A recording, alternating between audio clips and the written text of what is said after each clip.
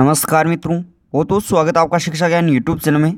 दोस्तों, अगर आपने अभी तक हमारे चैनल को सब्सक्राइब नहीं किया तो ज़रूर कर ले, क्योंकि यहाँ पे आपको शिक्षा से जुड़ी जानकारी समय पर प्राप्त होगी। दोस्तों एग्ज़ाम डेट आगे बढ़ाने को लेकर बहुत सारे प्रयास किए जा रहे हैं और करना भी चाहिए।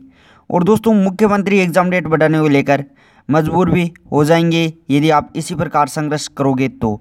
लेकिन दोस्तों, आपको यही मानना है कि एग्ज़ाम डेट है, वो आगे नहीं बढ़ेगी। उसको लेकर आपको तैयारी है, वो जारी रखनी है। आप ऐसा मत सोच लेना एग्ज़ाम डेट आगे बढ़ेगी और हम तैयारी अभी नहीं करें, बाद में करेंगे। लेकिन इस भरम में मत रहना।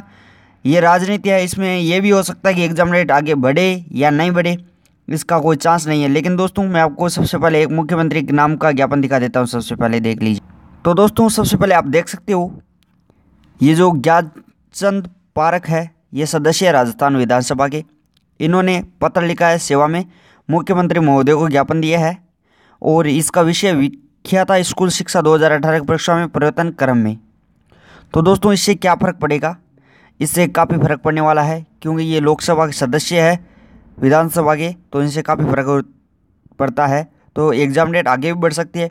उपयुक्त विशानगत निवेदन है कि राजस्थान लोक सेवा आयोग अजमेर द्वारा आयोजित माध्यमिक शिक्षा विभाग हेतु प्राध्यापक स्कूल व्याख्याता भर्ती 2018 लगभग पाँच हज़ार पदों पर इसकी जो विज्ञप्ति है वो जारी की गई। आरबीएससी द्वारा स्कूल व्याख्याता परीक्षा 2018 को 15 जनवरी 2019 को आयोजित करना तय किया गया है। आपसे निवेदन है कि इतनी संख्या में आयोजित इस भर्ती में बहुत से आवेदक ऐसे हैं जो परीक्षा तिथि तक भर्ती परीक्षा में पात्रता से वंचित रह जाएँगे। तो एग्ज़ाम डेट आप है वो आगे ज़रूर बढ़ाइएगा।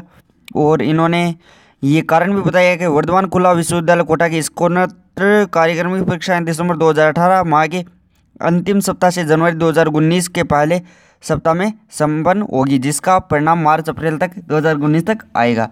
तो दोस्तों, इन्होंने कारण भी लिख दिया है।